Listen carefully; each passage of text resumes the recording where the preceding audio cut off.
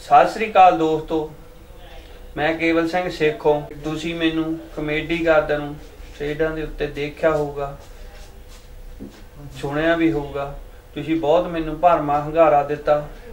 ਆਪਾਂ ਗੱਲਾਂ ਦੀ ਲੜੀ, ਅੱਗੇ ਸ਼ੁਰੂ ਕਰਦੇ ਹਾਂ। ਕੇਵਲ ਸਿੰਘ ਸਿੱਖੋ ਜੀ, ਤੁਸੀਂ, ਅਸੀਂ ਤੁਹਾਡੀ ਸਟੇਜਾਂ ਅਸੀਂ ਬਹੁਤ ਦੇਖੀਆਂ ਨੇ। ਤੁਹਾਡੀ ਕਮੈਂਟਰੀ ਤੋਂ ਅਸੀਂ ਬਹੁਤ ਪ੍ਰਭਾਵਿਤ ਹੁੰਨੇ ਆ ਤੇ ਤੁਹਾਡੀ ਕਮੇਡੀ ਤੋਂ ਅਸੀਂ ਬਹੁਤ ਖੁਸ਼ ਹੁੰਨੇ ਆ ਸੋ ਮੇਰਾ ਸਵਾਲ ਇਹ ਹੈ ਜੀ ਤੁਸੀਂ ਉਹ ਸਟੇਜ ਕਿਹੜੀ ਹੈ ਜੀ ਜਿੱਥੋਂ ਤੁਹਾਨੂੰ ਬਹੁਤ ਸ਼ੌਹਰਤ ਤੇ ਨਾਮ ਮਿਲਿਆ? ਤੇ ਅਸੀਂ ਇਹ ਦਰਸ਼ਕਾਂ ਨੂੰ ਦੱਸਣਾ ਚਾਹੁੰਦੇ ਹਾਂ। ਪਹਿਲੀ ਖੇਡ ਜੀ ਅਸੀਂ ਲਾਈ ਉੱਥੇ ਚਮਕੀਲੇ ਦੇ ਪਿੰਡ। ਚਮਕੀਲੇ ਦੇ ਮਤਲਬ ਮੇਲੇ ਤੇ। ਅੱਛਾ ਜੀ। ਤੇ ਉੱਥੇ ਸਾਨੂੰ ਬਹੁਤ ਭਰਮਾ ਹੰਗਾਰਾ ਦਿੱਤਾ ਲੋਕਾਂ ਨੇ ਬਹੁਤ ਪਿਆਰ ਦਿੱਤਾ।